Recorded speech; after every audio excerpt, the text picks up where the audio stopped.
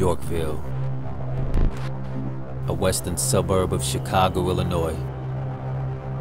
1,714 miles north of Phoenix, Arizona.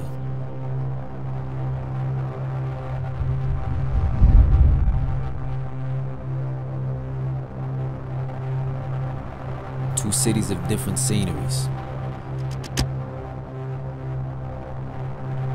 Different climates. Different histories, but joined by hard work, pride, and no excuses.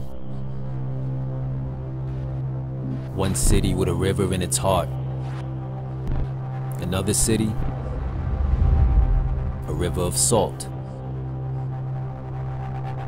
Neither city familiar with each other's communities, but one man familiar with both. Both creating a man unfamiliar with defeat. He only knows hard work and discipline, like the cities that bred him. Two cities, one man, one code.